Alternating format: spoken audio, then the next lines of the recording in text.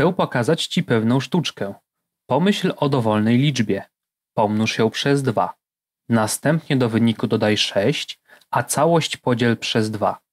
Teraz odejmij od wyniku wybraną przez Ciebie liczbę. Co Ci wyszło? Niech zgadnę, to 3, prawda? Nie, nie potrafię czytać w myślach, za to jestem matematykiem. Stąd wiem, że wynikiem wykonanych przed chwilą operacji zawsze będzie 3, niezależnie od tego, jaką liczbę wybierzesz na początku.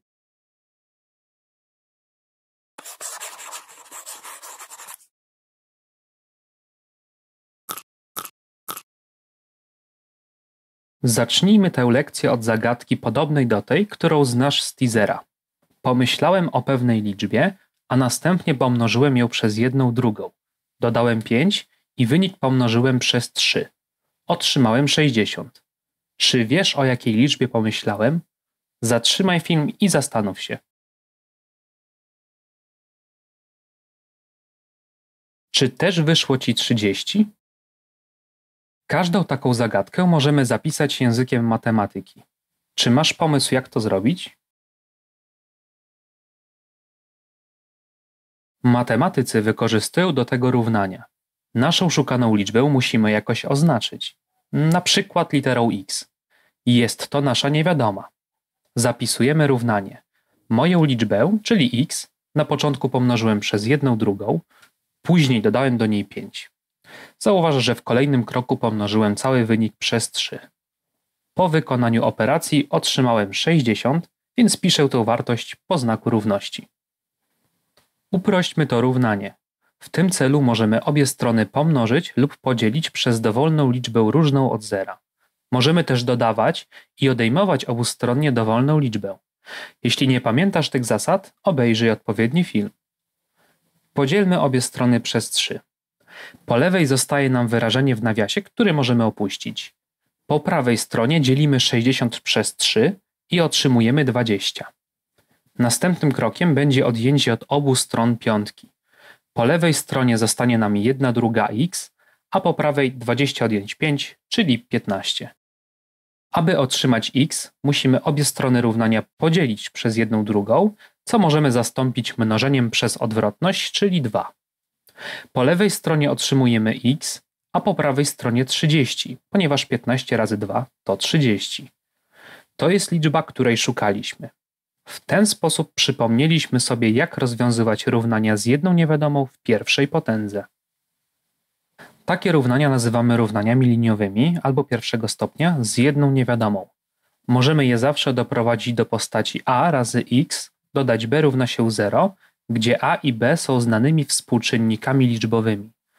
Zauważ, że w naszym zadaniu możemy przenieść 30 na lewą stronę, aby otrzymać je w takiej postaci. Jednak po co przekształcać równania w ten sposób? Wyjaśnię Ci to po krótkiej przerwie. Każde równanie liniowe z jedną niewiadomą możemy zapisać w postaci a razy x dodać b równa się 0.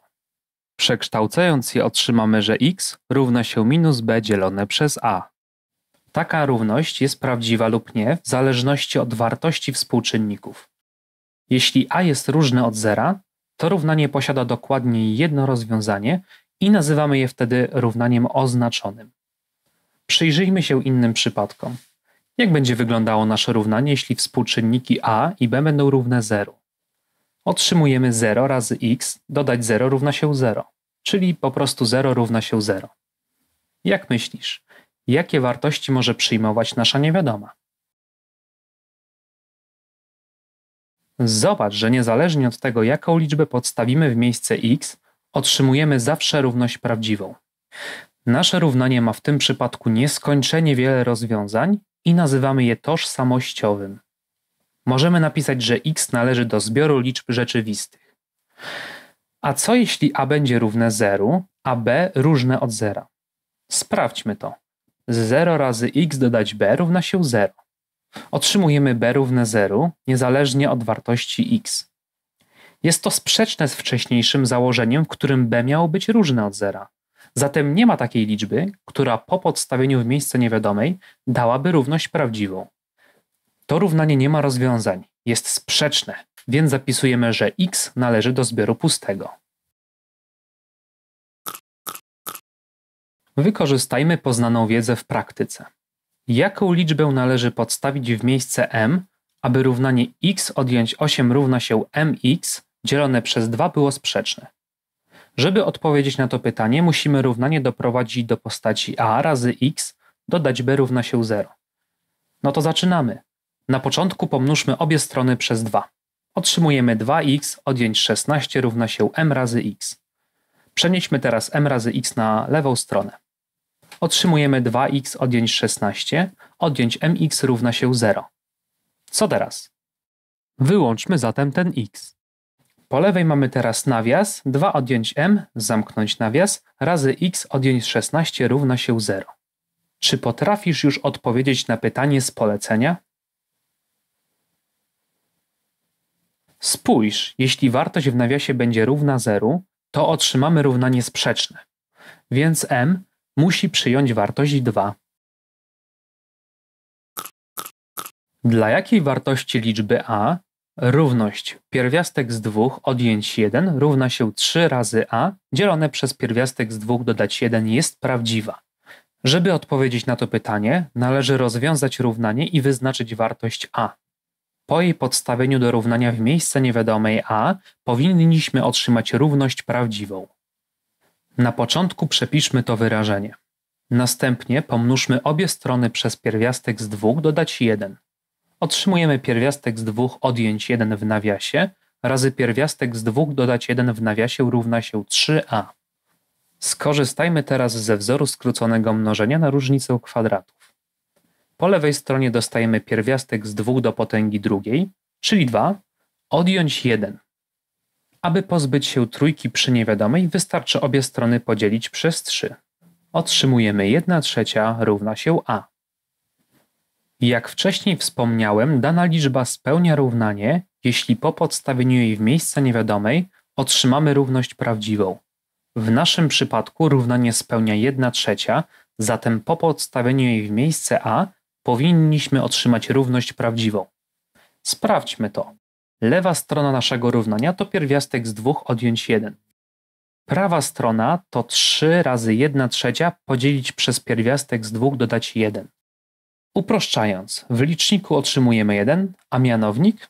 Usuńmy z niego niewymierność. Najprościej będzie skorzystać ze wzoru skróconego mnożenia, czyli pomnożyć licznik oraz mianownik przez pierwiastek z 2 odjąć 1. Po wykonaniu obliczeń otrzymujemy w liczniku pierwiastek z 2 odjąć 1, a w mianowniku pierwiastek z 2 dodać 1 w nawiasie razy pierwiastek z 2 odjąć 1 w nawiasie, czyli 2 odjąć 1. Widzimy, że prawa strona jest równa lewej, zatem otrzymaliśmy równość prawdziwą. Stąd wiemy, że 1 trzecia spełnia nasze równanie, czyli jest jego pierwiastkiem. Każdą liczbę, która spełnia dane równanie, nazywamy pierwiastkiem tego równania, a zbiór wszystkich pierwiastków zbiorem rozwiązań równania. Nasze równanie ma jeden pierwiastek.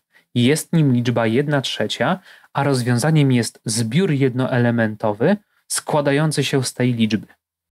Możemy zapisać, że a należy do zbioru jednoelementowego 1 trzecia. W przypadku jednego rozwiązania klamrowe nawiasy często pomijamy i piszemy po prostu, że a równa się 1 trzecia. Rozwiążmy takie zadanie. Mamy zbiór liczb 1, 1 druga, minus 2.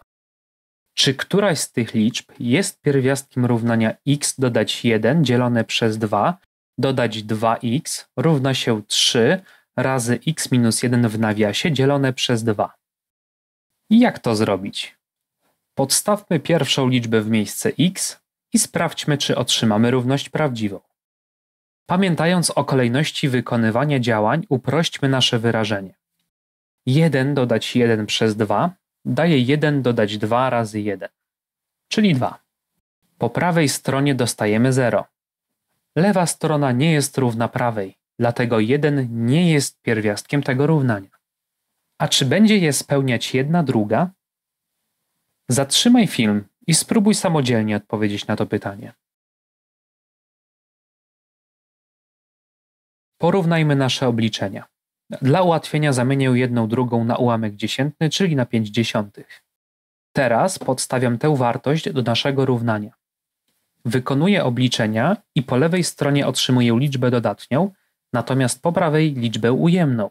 Ta równość nie jest prawdziwa. Zatem możemy stwierdzić, że liczba jedna druga nie jest pierwiastkiem naszego równania. A co z liczbą minus 2? Spróbuj sprawdzić to sam, a potem porównamy nasze obliczenia. Tak jak poprzednio, w miejsce x podstawiam minus 2. Obliczam i otrzymuję minus 4,5 równa się minus 4,5, czyli lewa strona jest równa prawej. Oznacza to, że minus 2 jest pierwiastkiem tego równania. Jeśli Twoje obliczenia doprowadziły Cię do tego samego wyniku, to Ci gratuluję. Równania liniowe nie powinny mieć już przed Tobą tajemnic. Równania liniowe, nazywane też równaniami stopnia pierwszego, to równania, w których niewiadome występują tylko w pierwszej potędze. Dowolne równanie liniowe o jednej niewiadomej daje się zapisać w postaci a razy x dodać b równa się 0, gdzie x jest niewiadomą, natomiast a i b to współczynniki liczbowe.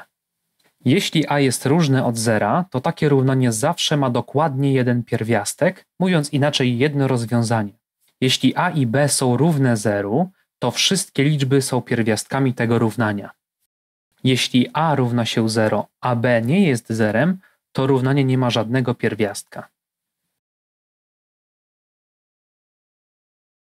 Zachęcam Cię do obejrzenia innych naszych filmów, zasubskrybowania naszego kanału oraz do odwiedzenia naszej strony Pistacja TV.